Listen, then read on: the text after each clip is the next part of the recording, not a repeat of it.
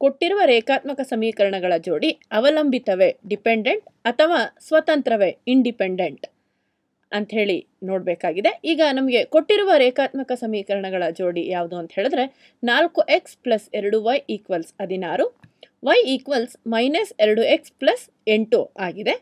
ಈ ರೇಖಾತ್ಮಕ ಸಮೀಕರಣಗಳು ಅವಲಂಬಿತವೇ ಅಥವಾ ಸ್ವತಂತ್ರವೇ ಅಂಥೇಳಿ ನೋಡುವ ಮೊದಲು ಇದನ್ನು ನಾನು ಸ್ಥಿರ ಮತ್ತು ಅಸ್ಥಿರದೊಂದಿಗೆ ಕನ್ಸಿಸ್ಟೆಂಟ್ ಮತ್ತು ಇನ್ಕನ್ಸಿಸ್ಟೆಂಟ್ ಒಂದಿಗೆ ಹೋಲಿಕೆ ಮಾಡೋದಕ್ಕೆ ಇಷ್ಟಪಡ್ತೀನಿ. ಆ ರೀತಿ ಹೋಲಿಸಿದಾಗ ನಮಗೆ ಮೂರು ಸಂದರ್ಭಗಳು ಮಾತ್ರ ಕಂಡುಬರುತ್ತೆ. ಅವು ಯಾವ್ಯಾವು ಅಂಥೇಳಿ ಈಗಾಗಲೇ ಇನ್ನೊಂದು ವಿಡಿಯೋದಲ್ಲಿ ನಾವು ನೋಡಿದ್ದೇವೆ. ಅದನ್ನು ಮತ್ತೊಮ್ಮೆ ನಾವು ರೀಕಾಲ್ ಮಾಡಿಕೊಳ್ಳೋಣ.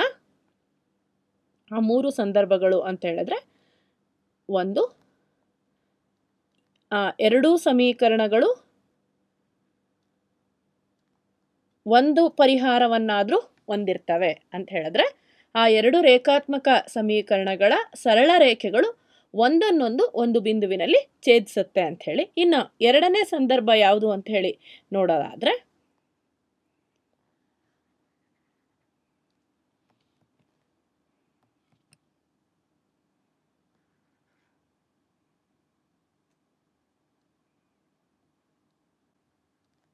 ಎಕ್ಸ್ ಎಕ್ಸ್ ವೈ ಹಾಗೂ ಎಕ್ಸ್ ವೈ ಈ ಮೂರು ಸಂದರ್ಭಗಳು ಯಾವುವು ಅಂತ ಹೇಳಿ ನೋಡಿದ್ರೆ, ಕೊಟ್ಟಿರುವಂತಹ ರೇಖಾತ್ಮಕ ಸಮೀಕರಣಗಳ ಜೋಡಿಯನ್ನು ಸರಳ ರೇಖೆಯಲ್ಲಿ ಪ್ರತಿನಿಧಿಸಿದಾಗ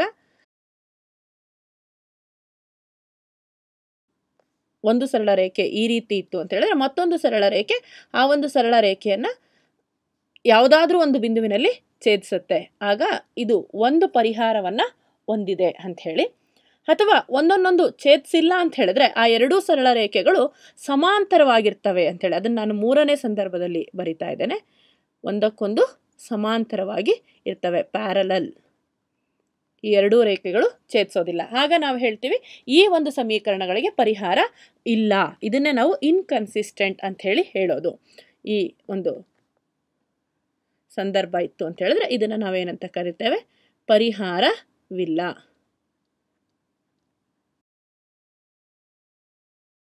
ಪರಿಹಾರವಿಲ್ಲ ಅಂತ ಹೇಳುವಂತಹ ಸಂದರ್ಭವನ್ನು ನಾವು ಅಸ್ಥಿರ ಇನ್ಕನ್ಸಿಸ್ಟೆಂಟ್ ಅಂತ ಸಹ ಹೇಳ್ತೇವೆ. ಇನ್ನು ಮತ್ತೊಂದು ಸಂದರ್ಭ ಯಾವುದು ಅಂತ ಹೇಳಿದ್ರೆ, ಈ ಒಂದು ಸರಳ ರೇಖೆ ಮತ್ತು ಎರಡನೇ ಸರಳ ರೇಖೆ, ಈ ಎರಡು ರೇಖಾತ್ಮಕ ಸಮೀಕರಣಗಳು ಒಂದರ ಮೇಲೆ ಒಂದು ಇರುತ್ತೆ ಅಂತ ಹೇಳಿ, ಒಂದಕ್ಕೊಂದು ಕೋಯಿನ್ಸೈಡ್ ಆಗುತ್ತೆ.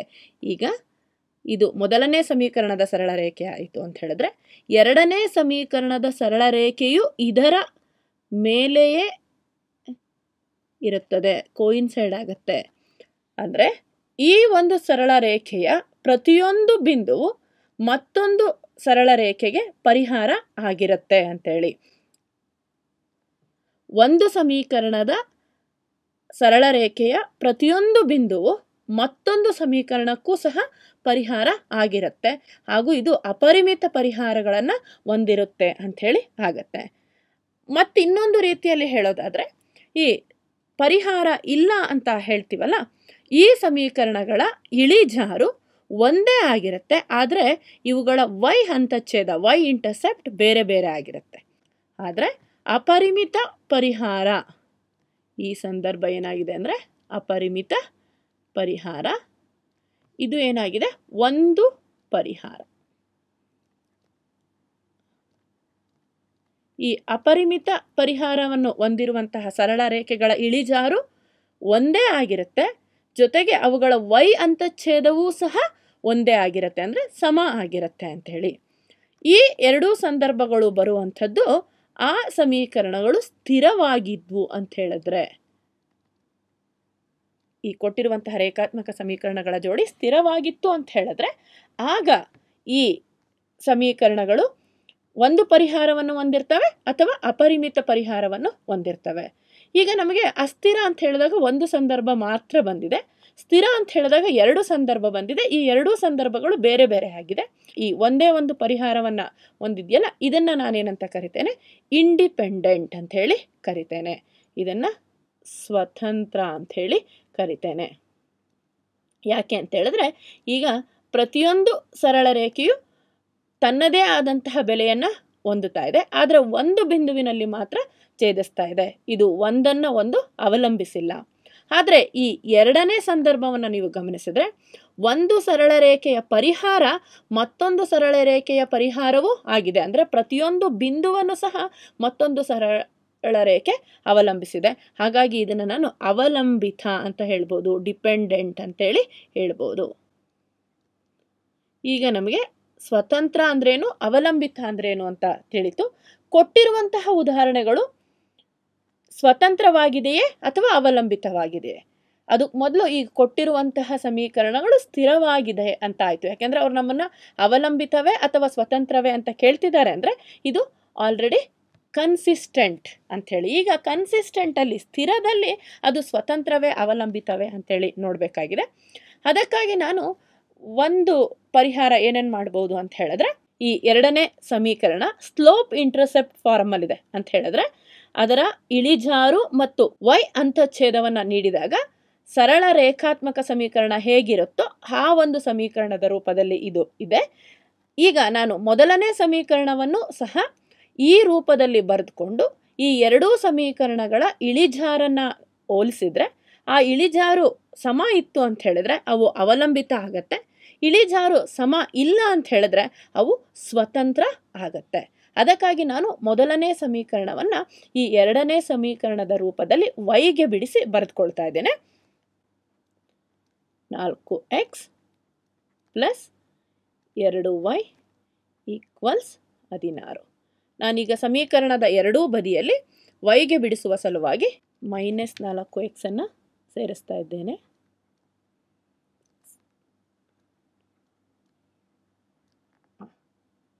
ಈಗ ಸಮೀಕರಣದ ಎಡಬದಿಯಲ್ಲಿ ನನಗೆ ಉಳ್ಕೊಳ್ತಾ ಇರುವಂಥದ್ದು ಎರಡು ವೈ ಇನ್ನು ಸಮೀಕರಣದ ಬಲಬದಿಯಲ್ಲಿ ಉಳ್ಕೊಳ್ತಾ ಇರುವಂಥದ್ದು ಮೈನಸ್ ನಾಲ್ಕು ಎಕ್ಸ್ ಪ್ಲಸ್ ಹದಿನಾರು. ನಾನು ಮೊದಲಿಗೆ ಈ ಎರಡನೇ ಸಮೀಕರಣದ ರೂಪದಲ್ಲಿಯೇ ಇದನ್ನು ಬರೆದುಕೊಳ್ಳುವ ಸಲುವಾಗಿ ಎಕ್ಸನ್ನು ಮೊದಲು ತೆಗೆದುಕೊಂಡಿದ್ದೇನೆ, ಅದ ಹದಿನಾರನ್ನು ನಂತರ ತೆಗೆದುಕೊಳ್ತಾ ಇದ್ದೇನೆ. ಈಗ ವೈಗೆ ಬಿಡಿಸುವ ಸಲುವಾಗಿ ಸಮೀಕರಣದ ಎರಡೂ ಬದಿಯನ್ನು ಎರಡರಿಂದ ಭಾಗ ಮಾಡ್ತಾ ಇದ್ದೇನೆ. ಈಗ ಎರಡರಿಂದ ಭಾಗ ಮಾಡಿದ ನಂತರ ನನಗೆ ಉಳಿಯುವಂಥದ್ದು ವೈ ಈಕ್ವಲ್ಸ್ ಮೈನಸ್ ಎರಡು ಎಕ್ಸ್ ಪ್ಲಸ್ ಎಂಟು. ನೀವೀಗ ಗಮನಿಸಿದ್ರೆ, ಈ ಮೊದಲನೇ ಸಮೀಕರಣಕ್ಕೆ ಬೀಜಗಣಿತದ ಕ್ರಿಯೆಯನ್ನು ಮಾಡಿ, ವೈಗೆ ಬಿಡಿಸಿದ ನಂತರ ನಾನು ಈ ಎರಡನೇ ಸಮೀಕರಣವನ್ನೇ ಪಡೆದುಕೊಳ್ತಾ ಇದ್ದೇನೆ. ಅಂತ ಹೇಳಿದ್ರೆ, ಮೊದಲನೇ ಸಮೀಕರಣದ ಇಳಿಜಾರು ಮೈನಸ್ ಎರಡು ಆಗಿದೆ. ಹಾಗೆ, ಎರಡನೇ ಸಮೀಕರಣದ ಇಳಿಜಾರು ಸಹ ಮೈನಸ್ ಎರಡೇ ಆಗಿದೆ. ಅಂದರೆ ಇಳಿಜಾರು ಒಂದೇ ಆಯಿತು. ಮೊದಲನೇ ಸಮೀಕರಣದ ಸುಲಭ ರೂಪದಲ್ಲಿ ವೈ ಛೇದ ಎಂಟು ಆಗಿದೆ. ಹಾಗೆ ಎರಡನೇ ಸಮೀಕರಣದಲ್ಲೂ ಸಹ ವೈ ಛೇದ ಎಂಟು ಆಗಿದೆ ಅಂತ ಹೇಳಿದ್ರೆ ಈ ಎರಡೂ ಸಮೀಕರಣದ ಇಳಿಜಾರು ಸಮ ಆಗಿದೆ ಹಾಗೂ ವೈ ಅಂತಚ್ಛೇದವು ಸಮ ಆಗಿದೆ. ಒಂದು ಸರಳ ರೇಖೆ ಮತ್ತೊಂದು ಸರಳ ರೇಖೆಯ ಮೇಲೆಯೇ ಇದೆ. ಅಂದರೆ ಈ ಎರಡೂ ಸಮೀಕರಣಗಳು ಒಂದಕ್ಕೊಂದು ಅವಲಂಬಿತವಾಗಿ ಇದ್ದಾವೆ ಒಂದಕ್ಕೊಂದು ಡಿಪೆಂಡೆಂಟ್ ಅಂತ ಹೇಳಿ ನಾವು ಕರಿತೇವೆ.